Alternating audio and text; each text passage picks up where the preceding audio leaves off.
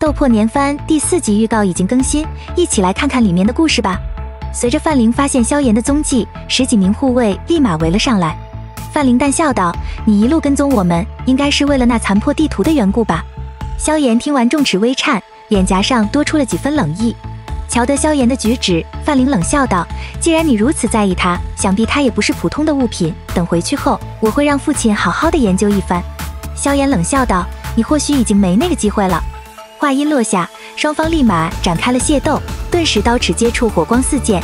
此刻的萧炎只是大斗师的水平，而范灵却是斗灵层次，足足高了萧炎一个等级。随着战斗的深入，萧炎发动天火三玄变，实力也暴涨到斗灵层次。只见范灵一道道血红的手掌扑面而来，此时的萧炎手握重尺，并包裹青莲地心火怒砸而下，两者对轰，范灵发出了一阵凄厉的惨叫：“该死的，你竟然拥有一火！”因为血宗功法是阴寒之道，他天生与火属性相克。更何况萧炎使用的还是异火，所以范林的血雾碰到萧炎的青色火焰，直接就消散不见。范林挣扎片刻，便让罗长老断后，他先溜。就在范林跑了一段距离时，身后的罗长老直接壮烈牺牲，而他身边却闪过一条七彩小蛇。范林见他小没太在意，可下一秒，七彩小蛇直接在他胸口钻了一个大窟窿，剧烈的疼痛令范林一头栽倒在地，而后彻底的死去。战斗结束，萧炎将吞天蟒收起，然后把范林的东西搜刮一番。突然，药老的声音响起：“小家伙，赶紧走！我察觉到范劳过来了。”萧炎听完，化为一道黑影，直接冲进了密林深处。经过一天一夜的逃窜，萧炎停在一处山崖上。原本他只是想得到净莲妖火的残图，可没想到范灵还替他将阴阳玄龙丹以及三千雷动都抢了过来。这种天上掉馅饼的事，不由得令萧炎嘴角微微上扬。打开了那个冰寒的盒子，一枚金光流转的丹药缓缓浮现。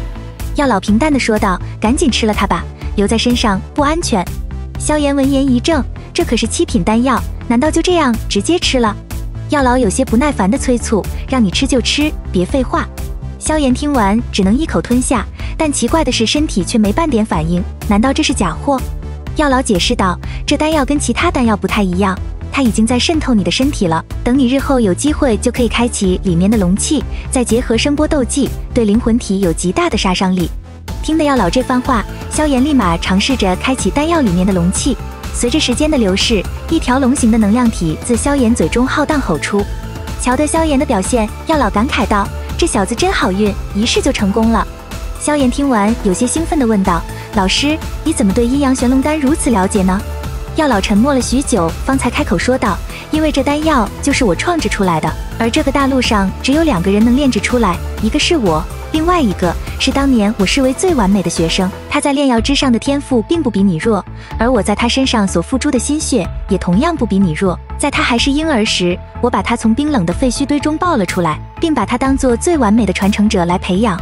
可是到了最后，他为了一些东西选择了背叛，害得我变成如今的模样。”感受到药老声音中的凄凉，萧炎怒斥道：“他该死！既然阴阳玄龙丹出现在黑印城，想必那里能找到他。”药老淡笑道：“就算在黑印城见到他又能如何？当年的他可是斗气大陆炼药界中最耀眼的明星，而如今又过去这么多年，恐怕他现在也是今非昔比了。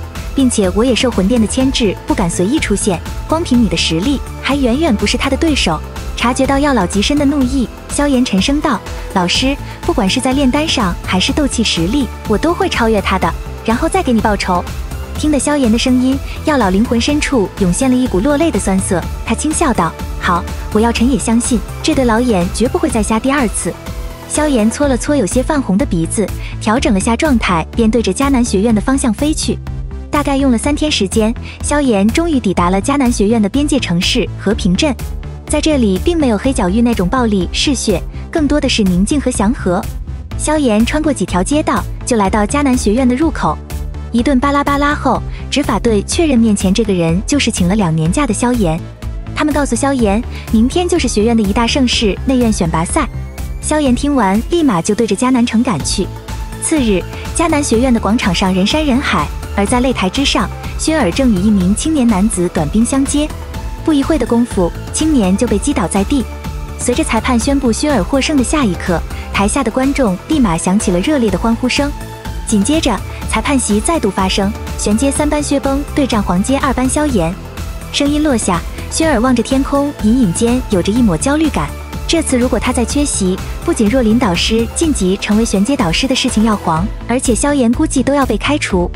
场边的白衫青年淡笑道：“萧炎吗？一个胆小怕事之人，还要让一个女孩去承认那些不必要的非议，这简直就不是人。”就在众人为薰儿愤愤不平的时候，一道流光重重的砸在擂台之上，黑袍青年的声音在每个人的耳边轰隆响起：“黄金二班，萧炎。”